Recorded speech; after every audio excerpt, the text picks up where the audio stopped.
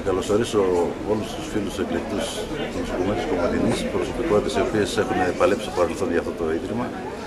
Ε, η σημερινή εκδήλωση μόνο αισιοδοξία μπορεί να μας ε, γεμίσει γιατί τα προβλήματα είναι γνωστά και σκοπεύουμε, σαν νέος ιατρικός σύλλογος που έχουμε αναλάβει καθήκοντα πρόσφατα, να τα αναδείξουμε σε κάθε πτυχή.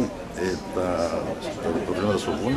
Βέβαια, το μεγάλο όραμα το να αποκτήσουμε και μια καλή στέγη που να αξίζει στο προσωπικό του νοσοκομείου της Κομωτινής και που αξίζει στο λαό της ε, Θράκης και της Ροδόπης είναι ένα όραμα το οποίο πρέπει να το πολεμήσουμε και να το κάνουμε να το φέρουμε κοντά.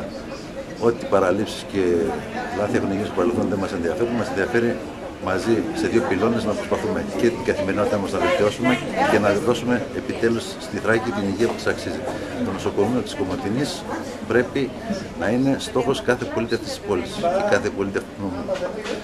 Ε, ελπίζω να γίνει μια επικοδομητική συζήτηση, να ακουστούν απόψεις, να γίνει μια πλήρης ενημέρωση γιατί πολλοί δεν ξέρουν σε ποιο στάδιο βρίσκονται όλες οι εξελίξεις και νομίζω από τέτοιες εκδηλώσεις μόνο θετικά αποτελέσματα μπορούν να προκύψουν.